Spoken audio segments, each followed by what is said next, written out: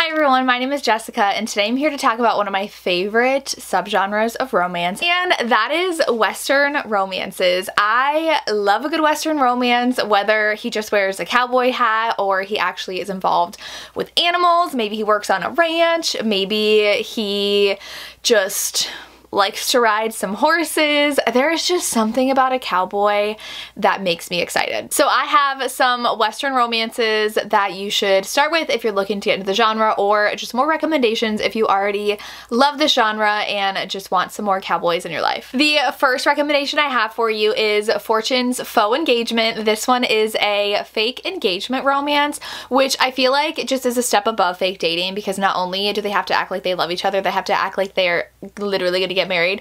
And what happens is the heroine actually says that he is her fiance and that's how it all starts. And she is shocked when he actually agrees. He is a startup titan who is looking into his own past and trying to uncover answers. So she is shocked when he plays along and says that they are actually engaged and she has to think, is he just playing along though? Or are there some real feelings involved? We have the iconic setting of being in Texas. We have a hero in a cowboy hat perfect Western romance to start with. If you are someone who loves single dad, second chance, going home after leaving your small town for the big city life and realizing it's not all it's cracked up to be, you have to check out this book. Big Sky Christmas, our heroine, she had left her small town ranch life for the big city life and she realizes she doesn't love it. So she goes home for Christmas and she runs back into the boy next door who was the neighboring ranch heir. And she's like, um, I'm kind of feeling some old feelings he is actually now a single dad of two girls. He runs his own ranch. This does take place in Montana and one of his daughters though is not the most excited about her being back in his life.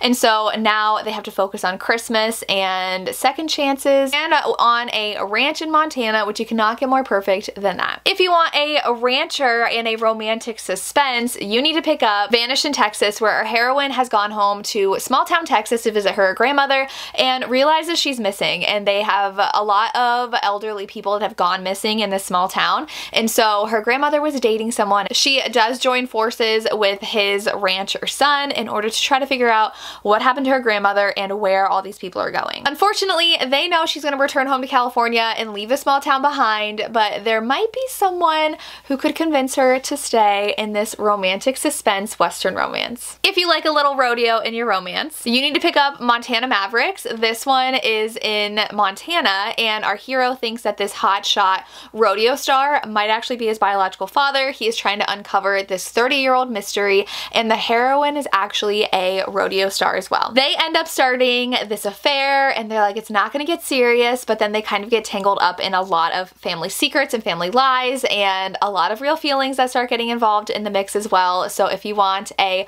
rodeo star where the heroine is actually the rodeo star and the hero is just trying to discover secrets that have long been kept in the family, I would definitely recommend checking out Montana Mavericks. The last one I have is Rancher's Return. This one is actually a single parent romance where both of them are single parents and they are thrown back into each other's lives because she finds his adopted son in her daughter's bedroom. So she comes dragging him home, yells at our hero, and he is actually the former wild child of the town and he is back in town and obviously sparks are going to start flying between them. He's back in their small town though because he wants stability for his three adopted sons. He has really grown though and he's definitely not the same wild child he was that she knew, but she doesn't know if she can trust him with her heart, especially because of the reputation he had in the past. But now they're both single parents having to deal with some issues that arise with their kids and fall in love in the process. If you love the western setting, the cowboys, the Montana ranches, the Texas ranches, I would definitely recommend checking out